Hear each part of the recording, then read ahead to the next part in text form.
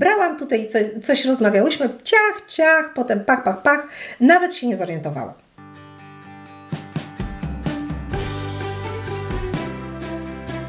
Dzień dobry moi kochani, witam się z Wami serdecznie i dzisiaj przychodzę do Was z kolejną propozycją makijażu odświętnego, makijażu, który możemy sobie zrobić, nie wiem, gdzieś na jakieś wyjście, gdzieś, gdzie będziemy coś celebrować. No i w tym momencie chyba już wszyscy wiedzą, jakiej palety, palety dzisiaj użyję. Otóż tak, dzisiaj chcę użyć celebry. Słuchajcie, wybaczcie, że znowu Glam Shop, natomiast no, Hania wypuszcza po prostu nowości. Wy prosicie o, o ich testy, no a ta paleta jest tak świąteczna i taka no nie tylko na święta, wiecie, Bożego Narodzenia, ale ona jest po prostu taka odświętna. W związku z tym możemy wyczarować nią naprawdę prze, przepiękne makijaże. No i ja mam dzisiaj taką ochotę na jakieś takie, wiecie, fiolety, coś takiego. No myślę, że tutaj ten dreszczowiec, tego twista może sobie użyjemy. No zobaczymy. W każdym razie dzisiejszy makijaż chcę, żeby był takim ukłonem w stronę wszystkich zielonookich dziewczyn. Oczywiście niebieskookie też będą w tym świetnie wyglądać. Ostatnio e, były klasyczne makijaże, więc dzisiaj chcę troszeczkę zaszaleć z kolorem. I dzisiaj też użyjemy sobie tego cienia pozytywka, dlatego że wiele z Was do mnie pisało, że ona jest e, tu pomarańczowa, na oku wychodzi jakoś inaczej. Dla mnie, szczerze, to jest wielka zaleta, dlatego że w jednym cieniu mamy dwa. No ale pokażę Wam, jak to nakładać, jak uzyskać ten e, pomarańczowy kolor. Oczywiście zobaczymy, czy mi się to uda.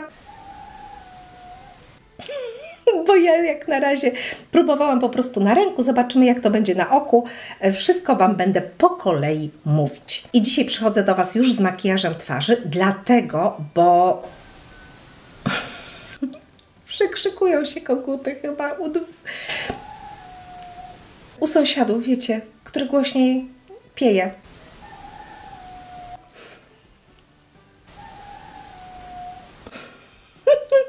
Uwielbiam te koguty. Także dzisiejszy, mak...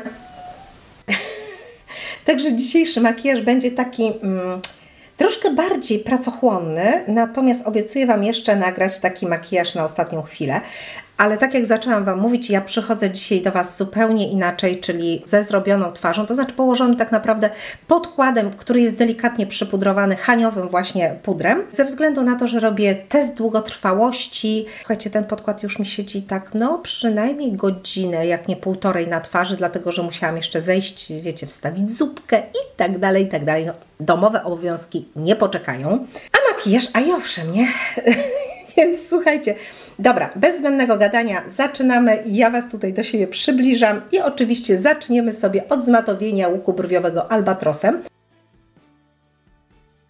Zaczniemy teraz od cienia, który jest dość kontrowersyjny, jeżeli chodzi o tą paletę, bo pisałyście mi na live, że pozytywka po roztarciu robi się z pomarańczowej czerwona.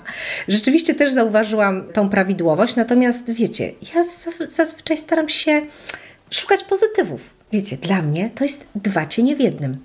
Tak jakbyśmy miały jeden dodatkowy, bo zobaczcie, jeżeli my sobie ja Wam zaraz pokażę to na ręku najpierw. Nabiorę sobie tak, wiecie, sporo, żeby to było na ręku widoczne. I teraz tak, jeżeli my sobie następlujemy tego cienia, widzicie, to mamy pomarańcz. Możemy sobie tego pomarańczu dokładać i jest pomarańczowy, tak? Ale jeżeli go weźmiemy sobie i zaczynamy go rozcierać,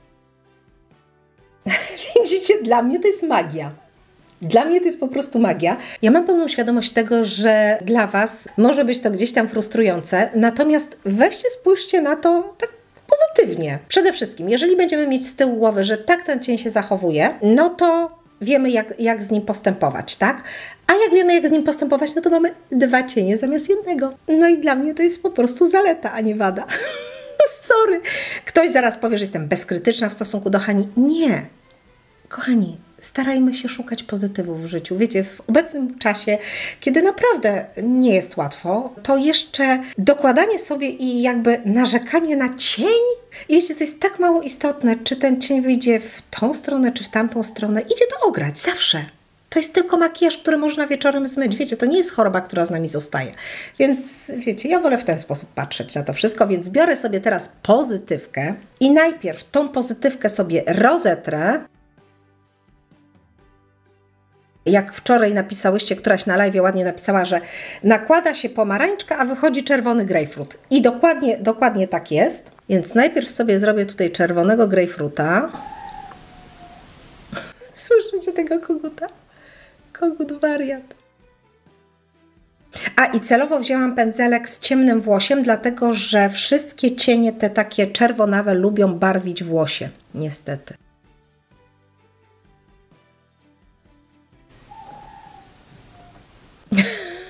A teraz na czubeczek nabieram sobie odrobinkę i go sobie podoklepuję. Już tu nie będę rozcierać. W ten deseń. I zobaczcie, jaki sam gradient powstał piękny. Rzeczywiście, wiecie, ja doskonale rozumiem jakby frustrację osób, które spodziewając się pomarańczu nagle zobaczyły czerwony grejpfrut, ale wiecie, już jak wiemy, jak z tym postępować, to nie ma co narzekać, nie? No powiedzcie mi, że nie ma co narzekać, błagam was, to są tylko cienie. I naprawdę nie chodzi mi o to, że to jest glam shop. Przysięgam was. Mi chodzi po prostu o to, żebyśmy naprawdę starali się w życiu jak najmniej narzekać. Oczywiście ja sama mam takie dni, że mam ochotę, wiecie, na przykład paletką gdzieś piszgnąć o ścianę, nie? Umówmy się. Natomiast rzeczywiście ja mam gdzieś taki charakter, że ja się nakręcę, wkurzę, wybuchnę i mi zaraz przejdzie. Więc albo to dobre, albo niedobre. Dobra, teraz spróbujemy zrobić to samo na drugim oku. Takie samo przeciągnięcie, delikatne. Spójrzcie. Widzicie? Daje nam żółty, znaczy taki pomarańczowy kolor. O, jak gdybym sobie tutaj wklepała. Ale jak zacznę to rozcierać, to rzeczywiście robi się nam czerwony grejpfrut. I mówię, może być to, rzeczywiście może być to frustrujące, to ja się, ja się absolutnie nie dziwię, bo przypuszczam, że ja nie wiem, ja chyba też używałam na tym, na live, jak używałam właśnie tej palety. Ja już nie pamiętam, jaka była moja reakcja. Pewnie gadałyśmy i w ogóle nawet za bardzo uwagi nie zwróciłam, tylko doszłam do wniosku pewnie, że o, jest trochę inny niż w palecie i tyle. Jeżeli jesteśmy zdrowi, jeżeli nasze rodziny są zdrowe, to nie narzekajmy. Wiecie, ja to mówię dzisiaj z perspektywy osoby obolałej, bo mam tak spłótnięte kolano, ono mnie tak boli i tak mi się ciężko siedzi, że sobie nawet nie wyobrażacie. A jednak chcę zrobić ten makijaż, chcę się uśmiechać i właśnie, że będę się uśmiechać naprzeciw wszystkiemu. Po prostu. Bo tak. I już. Jakiem tryfonka? No. No i podjechał Krzyś, wybił mnie z rytmu, już nie pamiętam o czym mówiłam. W każdym razie mm, mamy tutaj tak jakby dwa cienie w jednym, to się roztarło. Jeżeli na przykład potrzebujecie dotrzeć granicę w sensie takim, że jest niewyblendowane, to zawsze można wziąć jaśniejszy cień i tutaj sobie tak postemplować troszkę. Bo za, za wysoko z tą pomarańczą jechałam w końcu, pokazując Wam, jak się doklepuje. Ale słuchajcie, naprawdę to jest tylko makijaż, to pójdzie ewentualnie do zlewu i tyle. W każdym razie, słuchajcie, bo chcę, chcę Wam powiedzieć, że ja czasami właśnie jak coś na szybko, bo już słyszałam, że Krzysio podjeżdża, to sobie ciapnęłam za wysoko. No i tak czasami jest, no ciapniemy za wysoko i tyle, i trudno. Nic się nie stało, nie?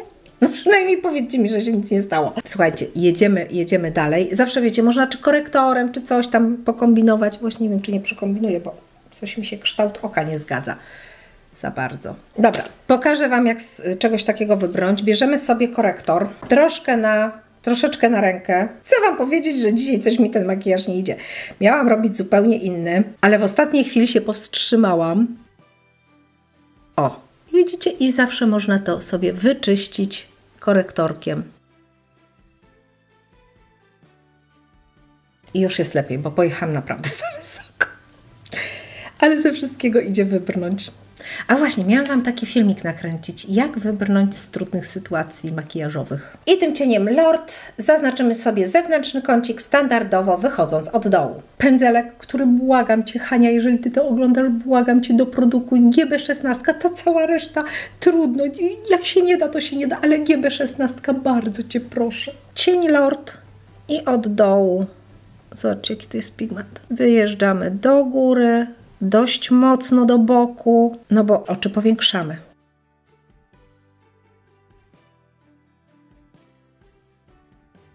Przyszedł pan od. I tak właśnie u nas jest. Przywiózł ktoś faktury, no i psy po prostu musiały przyjść tutaj ze mną, bo pan się obawia piesków, a moje piesy są czasami niegrzeczne. No, ale zobaczcie, ta mordeczka malutka, moja malutka mordeczka. Tak, pancia weźmie na rączki będzie wszystko dobrze, tak? Misio? Mikuś? No bo tutaj czysterek jest. Jeżdżasz do czysterka? Do Zuzi idziesz? Zuzia z kolei to nie jest piesek narączkowy. Ona tak nie lubi. Zresztą widzicie, spięła się kobita. Spięła się kobita. Tylko to jest kawał psiula. O Jezu, nie denerwuj się. No czego się denerwujesz, Zuzia? No zobacz. Gdzie ty jesteś? Gdzie ty jesteś? No nigdy ci nie pokazuję, bo ty nie chcesz na rączki. Moja dziewczynka, to jest taka moja najpiękniejsza królewna, najpiękniejsza królewna świata, tak? No i teraz jak się przykleiła, to się nie odklei. Jak się przykleiłaś, to się nie odkleisz? No czekaj, czekaj lalka, pokażemy Cię. O zobaczcie jaką mam minę. Nie, nie lubię, nie lubię, nie chcę. O, Ciusiu, co tam jest? Co tam jest? Co to? Co to? Złoto moje, ty laleczko najpiękniejsza. Tak, przytulę się do pańci i będzie dobrze, tak? A ona to się pyli o matko z córką. A wszędzie psie kudły. Dobra, czesterka już nie będę brała, czesterek trochę za duży. Chociaż troszkę się pokażesz. Chociaż troszkę łepek pokażesz, pokażesz rójka swojego pięknego. Pokażesz rójka, tak buzi, buzi, buzi. No a potem się e, dziwimy, dlaczego ja mam ten z, zażarty e, podkład. Moje kochanie, moje kochanie, a ty dasz radę tu wyżej? Ale on ma 25 kilo, więc o Jezu, nie, nie, nie, bo zrobię sobie krzywdę i jemu. Tak? Co Stuś? No to taki przerywnik z psami. No, synuś, dasz buzi, buzi, buzik. No. Okej, to jedziemy dalej z tym koksem. Teraz czyste hulupę 66 i rozcieramy. I teraz tą fałeczkę wypełniamy sobie tym najciemniejszym brązem. Standardowo, słuchajcie, tutaj się nic nie zmienia w tych moich makijażach. Zmieniają się po prostu kolory. Zobaczcie, jak się ładnie nakładają. Porozcierałam sobie jeszcze tutaj granice wszystkie i teraz na to hulupę 66, którym rozcierałam sobie to wszystko, biorę cień o nazwie Brudna Malina i jego położę tutaj na to, co sobie roztarłam.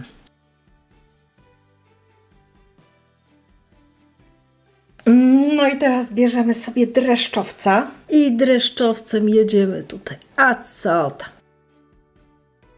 Na środeczek. Dreszczowiec idzie na środeczek. Ale wiecie co, dreszczowiec ma tutaj, ja zu- zupełnie zapomniałam, że on ma sporo niebieskiej drobiny. I tutaj ten pomarańcz mi tak średnio pasuje. Zaraz go uspokoję.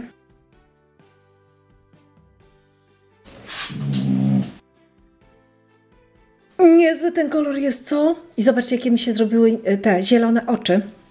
Ale ten pomarańcz tutaj zupełnie nie pasuje, zupełnie. Teraz wezmę sobie korektora, przejadę korektorem, spróbuję to wyczyścić i nałożę e, chyba tutaj tego inżyniera. Inżynier jest po prostu chłodniejszy. Nie wiem dlaczego ten dreszczowiec mi się wydawał, wiecie, w opakowaniu, że jest e, bardziej ciepły, a on ma przepiękną taką, widzicie, błękitną drobinę. Ale to nic, to nic. Zaraz z tego wybrniemy. Biorę sobie korektora, wacik, troszkę płynu micelarnego. Wacik sobie tak składam, żeby było mi po prostu wygodnie tutaj dotrzeć i po prostu to wycieram, słuchajcie. Jeszcze raz składam i to wszystko wycieram. Przy okazji pokazałam Wam, o co chodzi mi z tym pomarańczowym. I to samo zrobię na drugiej powiece i zaraz do Was wracam. I jak mamy powycieraną jedną, drugą stronę, nabieramy sobie troszkę korektora. Korektor na taki puchaty pędzelek i sobie tutaj to wklepujemy, wklepujemy bardzo delikatnie, uważając, żeby tutaj nie zahaczyć już o to, co położyłyśmy. Doklepuję paluszkiem i po pomarańczu. I z drugiej strony to samo, bo wiecie, musimy mieć taki sam, że tak powiem, podkład i żeby to wszystko ładnie nam się zblendowało. Na to nakładam albatrosa, czyli ten matowy beż. I ten, na ten sam pędzelek nakładam inżyniera, on jest taki właśnie chłodniejszy i tutaj sobie wyblendowujemy to wszystko. Widzicie? Wszystko da się naprawić, wszystko da się naprawić. Tylko niestety potrzebujemy na to odrobinkę czasu. Oczywiście najszybciej byłoby po prostu iść zmyć, tak? Zmyć tak po całości, ale ponieważ robię dzisiaj test podkładu, no to w żaden sposób nie mogłam tego zrobić.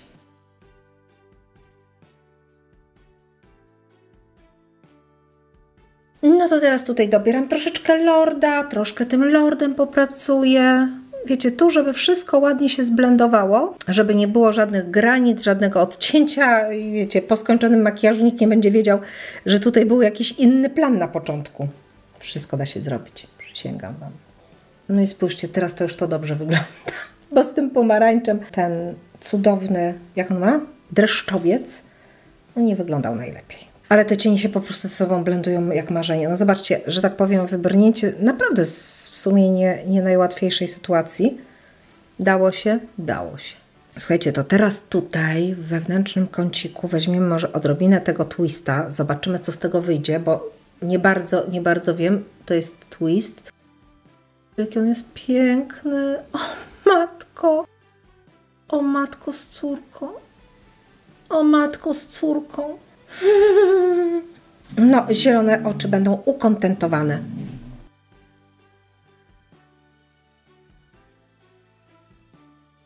Jak się Wam podoba? Mi się podoba bardzo, bardzo. Teraz wewnętrzne kąciki jedziemy z matowym beżem. I tutaj sobie nie żałuję tego matowego beżu. Dajemy go tutaj w wewnętrzny kącik tak naprawdę na bogato. I przejeżdżamy troszeczkę na, na ten, jak to było, twist. A tutaj drugą, a drugą ręką muszę Mikusia smyrać, dlatego że słyszę Krzysia na dole. Przyszedł pan tam z jakimiś dokumentami, więc ten, żeby nie szczekał, to go wzięłam tu na górę. No i co? I trzeba go tulić, najlepiej na rączki. Nie na rączki. Teraz pancia maluje, teraz pancia ma czas dla koleżanek i kolegów też zresztą. I zobaczcie, taki matowy, jasny beż, jaką kropeczkę nad i stawia. Tak, psie, kocham Cię bardzo. I tutaj jest piękny kolor tego albatrosa, dlatego że to jest taki waniliowy. To nie jest taki zupełny beż-beż. On ma troszeczkę takiej cieplejszej nutki. No wygląda po prostu pięknie tu w tych wewnętrznych kącikach. No dobrze, to ja uważam, że cieniowanie górnej powieki mamy zakończone. W takim razie ja przyciemnię sobie linię rzęs, dokleję sztuczne i za moment do Was wracam. No dobrze, moi kochani, to jestem już z przyklejonymi rzęsami, dokończoną twarzą. Bierzemy się za dolną powiekę. I pierwsze co zrobimy, no to standardowo rozetrę sobie po prostu to, co mam na dolnej powiece. I zobaczcie, ile daje samo roztarcie tego, co już miałyśmy nałożone. Ja Was do siebie troszeczkę zbliżę, o, żeby było dokładnie widać, co ja tutaj robię. I na ten sam pędzelek wezmę sobie troszeczkę brudnej malinki i brudną malinką tutaj tak od środeczka i wszystko też będę rozcierała trochę do dołu, na boki. Teraz odrobinka cienia inżynier i od wewnętrznego kącika. I ciągnę do dołu i do boku ten cień inżynier jest po prostu obłędny i naprawdę bardzo, bardzo ładnie podkreśli zielone tęczówki. Coś mi tutaj do oka włazi. Nie zdziwiłabym się, jak psi, jakby to był psi kudeł. Po prostu po tym wzięciu Zuzi ja tutaj mam wszędzie psie kudły. I teraz tak, żeby zrównoważyć górę z dołem, wezmę odrobinkę czarnej kredki, to jest Eveline oczywiście. Oczywiście dlatego, że ja ostatnio nic innego nie używam. I w linii rzęs robię sobie taką bardzo delikatną jakby kreseczkę. Biorę taki drobny pędzeleczek i nim sobie rozetrę to właśnie w linii rzęs. Kredka z Eveline się cudownie rozciera.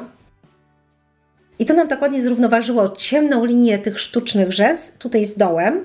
A ta kredka z Eveline, ona się cudownie rozciera. Widzicie, jak ładnie?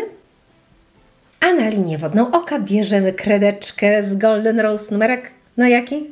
427. I robimy magię.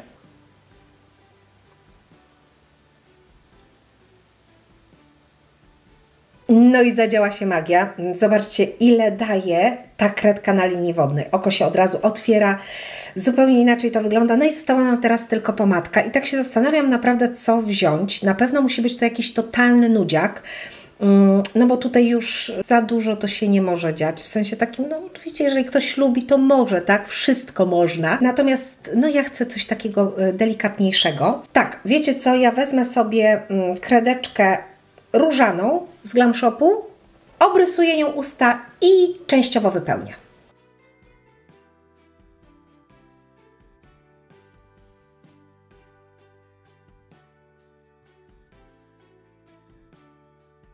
No i całkiem nieźle to wygląda. To jest taki idealny kolor moich ust, tak wiecie, leciutko podrasowany, tak troszeczkę, troszeczkę. No i tutaj na środek możemy dać kapkę jakiegoś błyszczyka. Ja tutaj wezmę z Lumen. On śmierdzi, ale to jest coś jak Lanolips, coś, coś w tym stylu. W sensie śmierci, no lanoliną jedzie, no. I on ma tak ciutek cieplejszy kolor i spójrzcie, jaki ładny nudziak z tego wyszedł. No dobrze, moi kochani, to makijaż Celebrum mamy skończony. Mam nadzieję, że Wam się tak samo podoba jak mi. No, spójrzcie, jak wydobyły się moje zielone tony w oczach. No, niestety, tak to po prostu jest, że do zielonych oczu najbardziej pasują fiolety. Przy czym mm, ten konkretny fiolet będzie pasował bardziej do tych takich chłodniejszych zielonych oczu, bo jeżeli macie takie bardzo ciepłe iskierki, to no nie wiem, czy jakby czy tutaj to rozblendowanie z tym pomarańczem, czy będzie szczęśliwym pomysłem.